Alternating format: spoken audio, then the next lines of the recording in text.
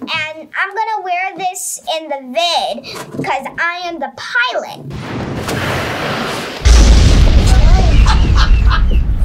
Seriously. All right.